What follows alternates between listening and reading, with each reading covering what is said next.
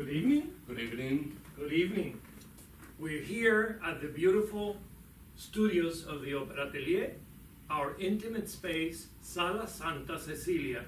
We're so happy to be coming to you all around the world, our friends from Europe, our friends from South America, Latin America, and Spain. Uh, tonight, we're going to talk about the era of bel canto, and I'm here with my colleague Jorge Arcila, and I am Daniel Daroca, and we're very happy to be celebrating this series, No Room of Our Own. This series after the 1929 essay by Virginia Woolf, A Room of One's Own. And next Saturday in the library, we're going to have a beautiful program with none other than Eglise Gutierrez, the acclaimed soprano who's widely respected in the bel canto style. And she's taken her wonderful singing to such opera house as Royal Opera Covent Garden, where she sang La Sonnambula. So, today we're going to talk about bel canto.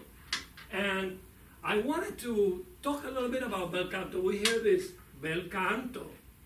What is bel canto? Let's start by saying what it's not.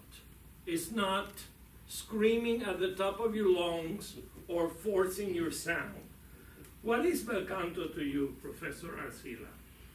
Is singing beautifully with uh, a line in the voice, uh, coloring according to the text and according to the uh, needs of the composer too. Fantastic. So, what is bel canto? What Professor Arcila is saying. And bel canto has some great ideals, which are worthy of examining. Now, when we talk about bel canto in the 20th century, we're bound to talk about Callas, because Maria Callas was associated with the bel canto style, and she led the revival of many bel canto operas which have been done in the past in a different way, and she brought new drama to these forgotten works. So, uh, if we could look at the next one. Some ideas of bel canto, and of course, this is all very uh, extracted. Nuances, chiaroscuro, light and dark, subtlety and expression. Subtlety is not forced. Long, unencumbered lines with simple, basic harmonic accompaniment. When you hear the arias by Bellini, you hear the simple accompaniment under the voice. Never obscure the voice. Text and music fused through correct accentuation. So, the accentuation of the words drives the accentuation of the singing. Voice coloring to reflect the meaning. A tragic word would carry a tragic way of attack. It would be reflected in the voice. Use of effects such as portamento or sliding from one tone to the other. Flexibility and subtlety were valued over brute force. It's not about screaming, but about singing. If we could look at the other one. Hector Berlioz wrote of the great German singer Henriette Sontag. She unites all the qualities, although not in an equal degree. All like to find in an artist. So she had everything. Sweetness never surpassed. She starts with sweetness. Her approach was had sweetness. Agility. Agility was very important in bel canto. Almost fabulous. Expression and the most perfect intonation. Those were prerequisites of the bel canto style. On she carols higher and higher like a lark at heaven's gate, so soft so clear, so wonderfully distinct, like the silver bell from the altar. It is heard through the pedaling organ. But the principal merit in our eyes is the absence of rant, the substitute of genius in any shape whatever. She always sings, capital words, and does not depend on mere strength of lungs, erroneously called power. She never strains her delicate organ, that sweet instrument so susceptible of every shade of expression. How fortunate for our young singers that, like the nuns in Meyerbeer's Robert le Diable, she left the tomb of their seven ancestors bestowed by the King of Prussia upon the Countess de Rossi to teach them the wide difference between singing and screaming and to show how we all, during the last 10 years, have been listening to and adoring false prophets. Isn't it interesting that he's talking about false prophets and Rossini somewhere else talks about the death of bel canto because people were starting to try to overpower. Okay? So let's go on. Now, Malibran. Maria Malibran. Before Maria Callas, there was Maria Malibran.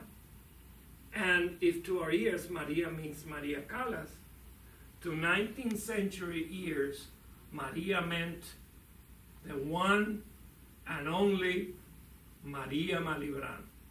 Not many people know that Maria Malibran was Spanish, and her father was the famous singer and composer Manuel Garcia. And the Garcia family was a powerhouse of the bel canto era. They were instrumental in advancing the music of the bel canto era. They brought the music of Rossini to the United States and Mexico. Manuel Garcia Sr. was a famous singer, a tenor. Manuel Garcia Jr. was a celebrated vocal teacher, author of a transcendental treatise, The Art of Singing. Very worth studying and almost unknown today. Maria Malibran was a famous singer, probably the leading singer of her generation. And Pauline Viardot, her, her, her sister, was also a magnificent singer and a composer respected by none other than Franz Liszt. If we could go on, oh, here we have the composers that are associated with this style Rossini, Bellini, and Donizetti. Uh, if we could go on. Now, how interesting that this is one of the, uh, of the examples that we can see in Manuel Garcia Sr.'s treatise. Uh, I'm sorry, Manuel Garcia Jr. treatise, the art, uh, the art of singing. And if on the first half he devotes his writing to the technique of singing, in the second half of the treatise, he talks about expression and how to bring the intentions of the composer to the fore. And he wrote examples and he wrote the technical, uh, the indications relating to expression and some technical ones too. So here, for example, you have soupir, you have a sigh effect, voix vigoureuse, a force, a little more forceful, a soupir, a, a, a sigh of anguish, and so each little phrase will have the, its expression. Now, its color, its way of coloring. For example, singers of that day were able to sing something with a dark color or with a clear color according to the expression. That is almost lost today. Now, we continue a little more. Let's talk about one of the things that we did in the past. It was called A Night in Paris with Chopin and Malibran. And this was an attempt to create an atmosphere in the fashion of the salons of the day. This famous painting depicts the atmosphere of adoration that was provoked by the great talents of the day, the great virtuosi that went throughout Europe and the United States and South America and all over the place playing and singing, and they had a tremendous effect on their audiences. Uh, here we see Franz Liszt at the piano, and uh, who is who of famous people. We have, for example, George Sand. Uh, could we uh, continue, please? Okay, here I'm going to call on, on Jorge. Would you like to read a little bit? Sure. Yeah. Okay, so we're going to read a little bit about salons. You, maybe you want to come here. Uh, yes, here we have uh, a night in Paris, the Chopin and Malibran. Salon, salonière, intimate, more informal platform, social bonding, communication, incubator for ideas. Aristocrats spend time and leisure and quiet family life, summer and fall in the country.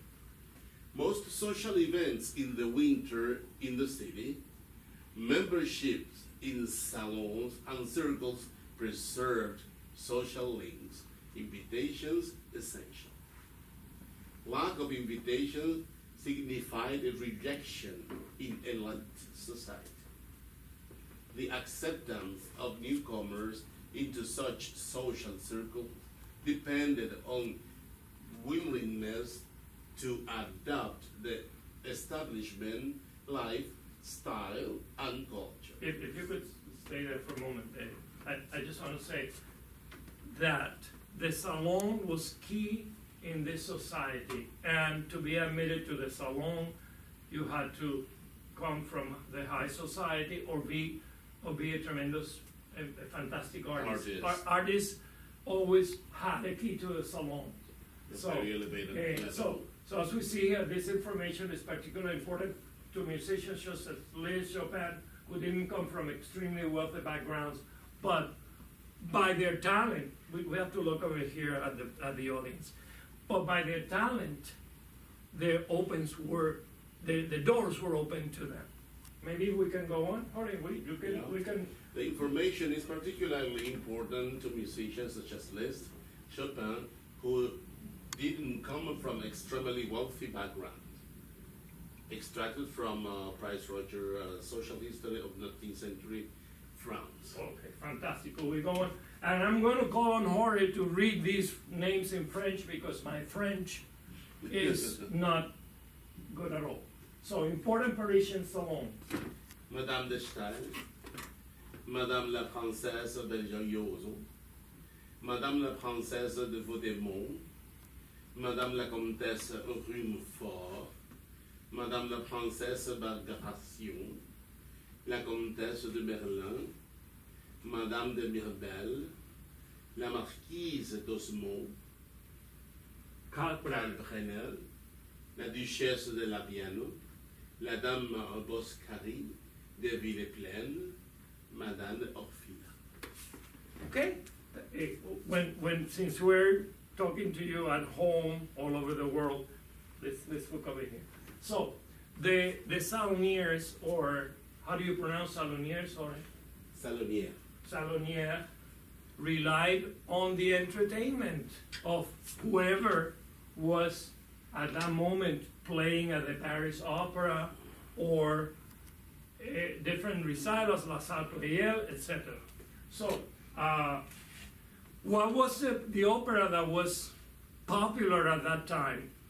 Opera at that time wasn't sort of stagnant as it is today when we're going to hear Il Barbiere di Siviglia, Tosca, La Traviata. And I remember that once time I heard said, oh, I already heard that. And of course, that makes a lot of sense because it becomes at times stagnant, as I said. At that time, it was more like, let's go to the opera to see what's playing. I hear that Donizetti has composed a new opera. I hear that Bellini has come up with a new opera. I hear that Chopin is playing at La Salle Pleyel, or oh, Kalkbrenner, or oh my goodness, Thalberg. Thalberg is going to play at La Salle Pleyel, and then Liszt is playing at the Opera House. So that was the excitement of Paris in the 1830s and 1840s. Operas were changing all the time. They didn't play the same opera over and over again, like we hear La Traviata a hundred thousand times. It was different. It was exciting. And so the artists who were singing at the opera would come to the salon to be recognized, to be admired. Okay? So let's go on. Here we are going to talk especially about the, the Countess Merlin. She was a Cuban aristocrat who married a French count and became Countess Merlin.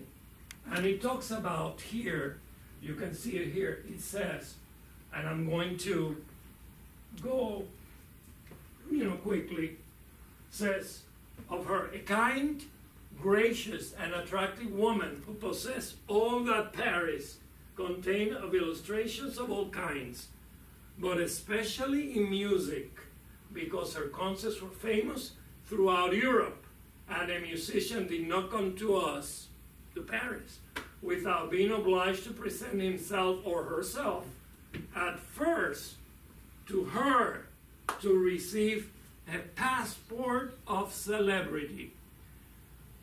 Madame Merlin was considered the queen of European salons. Ma- her salon was deemed to present the best music heard in Paris. This is taken from documents from primary sources of the time. In salons of the past, we find it is impossible not to recognize the influence that the drawing room of the Countess Merlin exercise on social music in Paris. Okay? It is she who proved that it was possible to join the advantages of a woman of the world to the talent of a great singer. And a great singer indeed she was, having studied with the great Manuel Garcia and being very intimate with uh, Maria Malibran and her sister Pauline Viardot. Furthermore, it says, no other salon, this is from the newspaper The Messenger of 1839, no other salon in Paris could be compared to that, that one on account of the celebrated ce- celebrities, of the famous celebrities who were meeting there under the scepter of a woman in whom the triple aristocracy of birth, beauty, and talent went together. What a tremendous quote that is. And then again, among all the concerts that with such frequency resound in Paris, those of Countess, Countess Merlin have taken, and rightly so, the first place. Imagine. So, this woman, Mercedes Jaruco, who became Viscountess in Paris, had the pleasure of receiving in her salon such figures as Rossini, Liszt, Chopin, uh, She, she, and she became the first authority. she became an authority. And she gave many concerts, uh, many concerts on behalf of different causes, for example, the Greek refugees. She was always doing something in charity. And if we could go on, let's go on to, to Maria Malibran. Let's go on. There are many, many things, but uh, eh, we were talking about the Countess, and here we come to Maria Malibran. Mercedes Jaruco recognized very early the talent, the extraordinary musicianship, and genius of Maria Malibran. And so she convinced Rossini to give her one of her first opportunities to perform in front of an audience. And she did it in her own house. Her salon in Paris was, of course, of uh, significant proportions, and she had the, the inner doors taken out so she could accommodate more people. And of course, Rossini fell in love with her talent, and she became her favorite. his favorite. So, uh, Malibran uh, was a mezzo soprano, and she's said to have had a huge range from very low notes, from a G to a very high, High notes. high, high notes. So, Maria Malibran was a Spanish mezzo soprano. Again, that's a fact that many people don't know that she was, in fact, a Spaniard who commonly sang both contralto and soprano parts. Amazing. She studied with Manuel Garcia, of course, her father. She had the best instruction at home. But it has its points. It had its points. Malibran was known for her stormy personality and dramatic intensity, becoming a legendary figure after her death at 28. She lived a very short and intense life. She was admired by Rossini, Chopin, and Liszt. She took over Rosina from an, from an indisposed Giuditta Pasta. When Judith, Giuditta Pasta uh, couldn't sing Rosina, she, she did it. And uh, I just want to say something, a, little anecdote about Malibran that I think is very telling. Uh, and I talked about the Countess first because there is such a, an inter uh, change of things going back and forth. It was up to her at, Maria, at Maria's death. She took it upon herself, the Countess wrote her biography. She, of course, she knew her very well. And one of the things that Maria uh, recounts, as we get from the Countess, was that his father was a very stern teacher. And he was, we would say today, he was extremely mean to her. Maria Malibran recounts herself that her voice was not beautiful. Her voice was very unequal.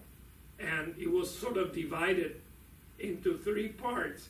And then again, we're reminded of Maria Callas. Maria Callas, who was said, Oh, who's this woman with it?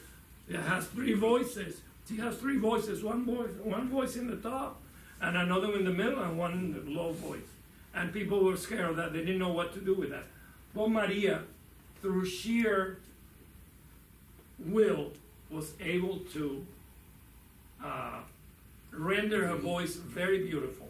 And I remember one anecdote that struck me very much was that she said that her parent, that her father, complained to her and said, You're out of tune, you're not singing well. And she would turn her back to the wall and cry. So her father would not see her crying. And that's why she learned to sing while crying, which is so difficult because singers say, No, I cannot cry because my throat will close. But Maria Malibran was able to sing and cry at the same time. And the effect that she obtained was something that one can only surmise, one, one can only imagine the, the effect that, that that would have on an audience. Maybe we, ah, okay, here we have the, so the, the, this, this piano is a little older than Malibran's, but no, no. But anyways, it will go from from from that G. Of course, this is half a, a half a step lower to high E.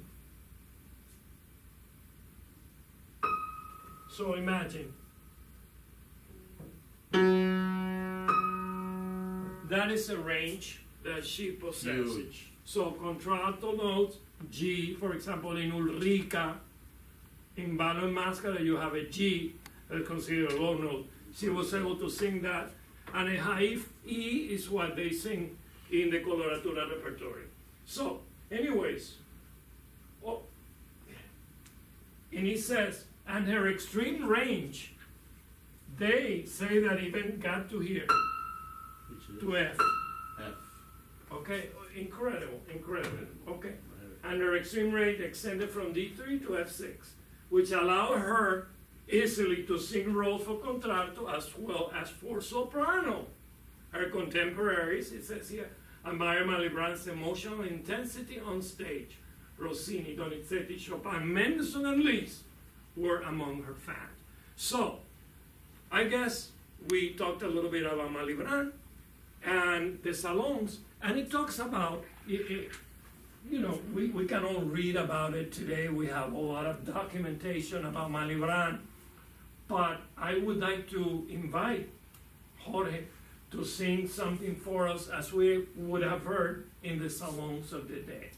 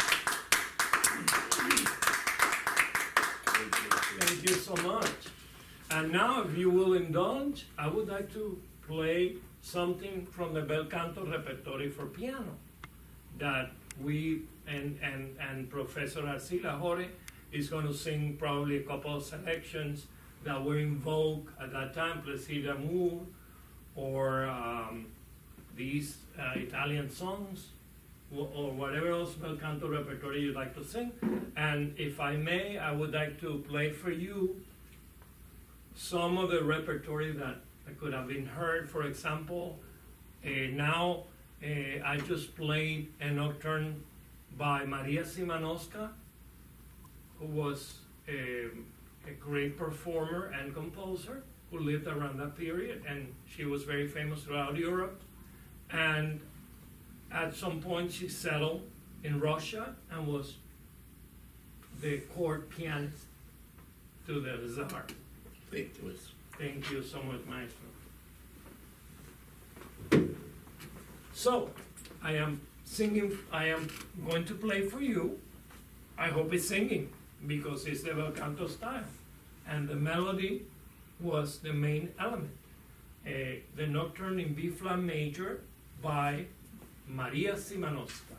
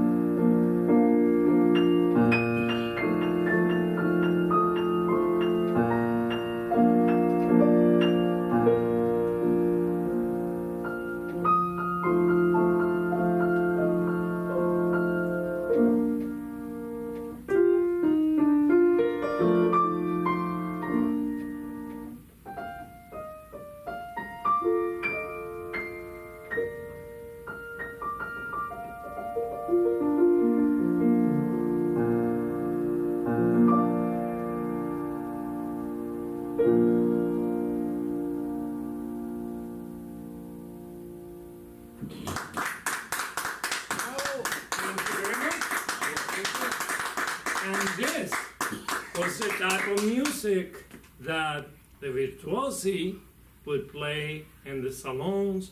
Sometimes it was very intimate pieces. And the great virtuosi such as Liszt, Chopin, and Thalberg would also play some monstrous, monstrous pieces that uh, ripped the piano apart. So thank you very much. Thank you, Professor Arcila. Thank you. Thank you for singing for us tonight and for providing the beautiful comments and writing, uh, reading in French. And um, we invite you, those of you who live in Miami, to come on Saturday, Saturday, May 13th, to the main library at the auditorium. We will have Professor Arcila, we will have Eglise Gutierrez, the acclaimed bel canto exponent, and you will have me at the piano, and we will do for you some bel canto pieces that are sure to please you. Thank you very much, and we'll see you soon. From the Opera Atelier, Sala Santa Cecilia in Miami, we say hello to all our friends around the world. Thank you.